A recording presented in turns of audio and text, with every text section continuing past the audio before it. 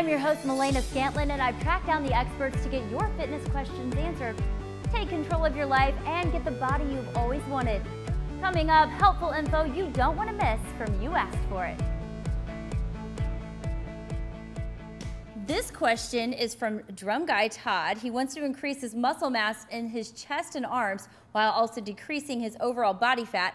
His question is, can you gain muscle while burning fat at the same time? Ooh, now this is an interesting question because we're told if we want to increase muscle mass that we have to eat a lot of calories, but then calories also can make us fat. So you want to break this down for us? It's a pretty interesting topic. It's definitely a question that I get a lot from mm -hmm. my mm-hmm. clients, especially my online viewers.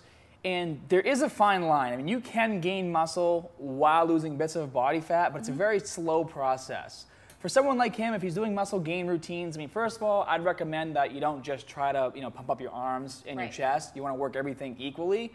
But what he can do is try to do lean gains. And the basis behind that is try to stay within a window of 250 to 500 extra calories a day and then kind of monitor your progress, jump on the scale, use the mirror, see how you look.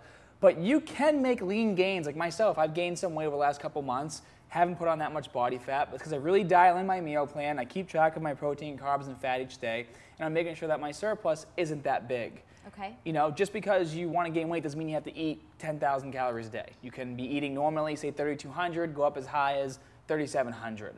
But it's a process that is different for everyone, and you really need to make sure that you're tracking your own progress. Because if you don't, then there's no really way, no way to know, because everyone's different sent us a question regarding her arms, which she wants to tighten and tone. Now, she wants to know if body weight movements are as effective as using free weights or other gym equipment. Sarah, there's a lot of people out there who may not have access to these types of equipment pieces or even a gym. So yeah. What, what's your advice? So, well, to be honest, that's one of the main reasons why I started my YouTube channel was because I knew a lot of people didn't have access to the gym and they didn't know what to do. And I figured, hey, I'm going to show everybody at home that they can get in a great workout while just being right there and without leaving.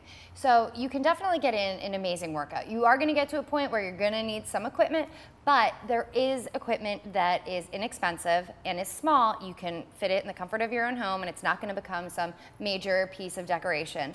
Um, but I love using body weight exercises. Sometimes when I go to the gym, I even just use my body weight. Um, it's a great way to tone up your body. Um, if you've lost the fat. Um, but yeah, I love using my body weight for a lot of exercises. And if people don't have access to a gym, not a problem. You can still get in a good workout. Earlier, she was kind enough to show us some movements that focus on the arms. I was sweating.